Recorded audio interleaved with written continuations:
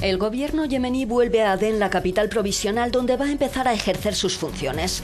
Tras seis meses de exilio en Arabia Saudí, el primer ministro y siete ministros más han regresado, mientras prosigue la vasta ofensiva para retomar el norte del país y la capital, Sanaa, de manos de los rebeldes hutíes.